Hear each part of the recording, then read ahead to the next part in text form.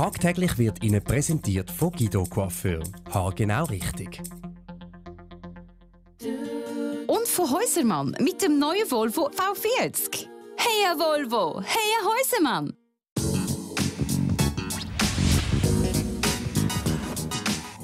Retourgang einlegen und Vollgas aus der Sackgasse. Mit der Volksinitiative soll die Annahme der Masseneinwanderungsinitiative vom 9. Februar rückgängig gemacht werden.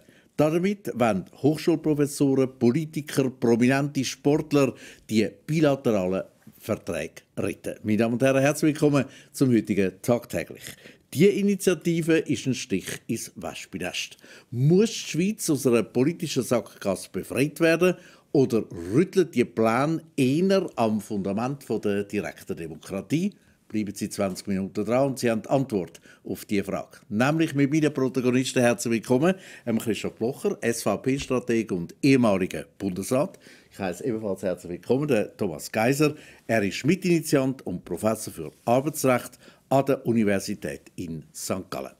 Herr Geiser, sind Sie ein schlechter Verlierer? Haben Sie immer noch Magenkrämpfe zehn Monate nach dem 9. Februar? Also ich habe weder Magenkrämpfe noch bin ich schlechter Verlierer. Aber die Schweiz hat sich hier in ein Problem hineinbegeben. Wir haben die bilateralen Verträge wo über dieses Volk abgestimmt hat, dieses Volk angenommen hat.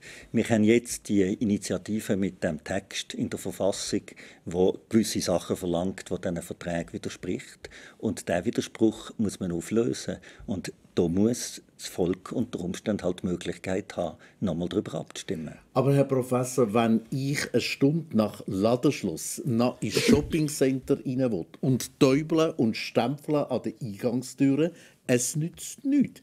Es war Ladenschluss. Und da war Ladenschluss am 9. Februar. Das ist aber bei einer Volksinitiative nie so.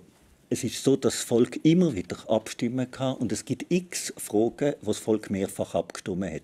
Zum Beispiel aus Frauenstimmrecht hat mehrere Anläufe gebraucht. Also Sie sagen, äh, steht der Tropfen höhlt den Stein. Man kann auch gescheiter werden in einer Demokratie. Also einerseits kann man selbstverständlich immer gescheiter werden, aber es ist auch ein anderes Problem. Wir haben die Verträge, wo die Schweiz sich verpflichtet hat und wir haben die Verfassungsbestimmung, die jetzt dem widerspricht. Jetzt hat die Politik den Auftrag, äh, das Problem zu lösen und das wird sie meines Erachtens nicht schaffen in der Frist, wo die Verfassungsbestimmung nämlich voraussetzt, nämlich in diesen drei Jahren. Und dann müsste der Bundesrat eine Verordnung erlassen, in sehr undemokratisch